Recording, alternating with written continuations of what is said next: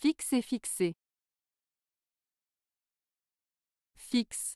Le mot fixe est un adjectif qui signifie quelque chose qui ne bouge pas ou qui reste en place.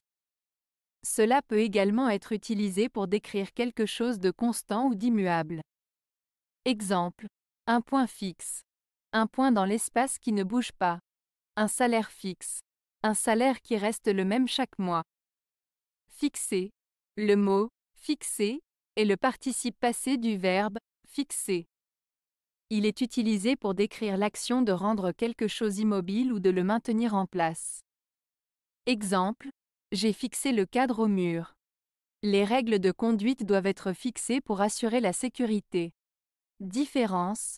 La différence entre fixe et fixé réside dans le fait que fixe est un adjectif qui décrit l'état de quelque chose qui ne bouge pas ou qui est constant, alors que fixé est le participe passé du verbe fixer, qui décrit l'action de rendre quelque chose immobile ou de le maintenir en place. Dans certains contextes, les deux mots peuvent être utilisés de manière interchangeable.